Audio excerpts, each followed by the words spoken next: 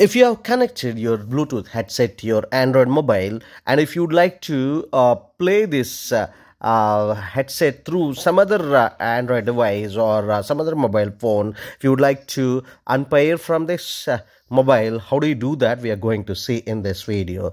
Uh, to unpair this particular bluetooth headset uh, from this android mobile just get into bluetooth option by going to settings icon. Just go and tap on this icon upon tapping this settings icon you would be given so many options here starting from network and internet. Uh, some of the option may be for connected devices. In the connected devices just tap it here.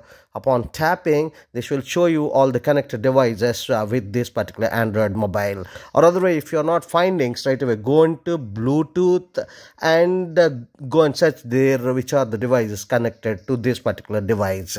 So upon uh, just going through this connected devices this string light is the name of this particular headset is connected and uh, just tap it here upon tapping nothing will happen. To unpair just go and tap on this particular settings icon on uh, string light.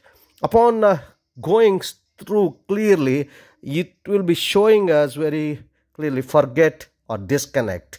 To just disconnect from this connection you can go and uh, do this here. Or otherwise if you want to unpair if you want to disconnect uh, sorry if you want to remove that particular device from this mobile phone go and do it. Uh, forget option here.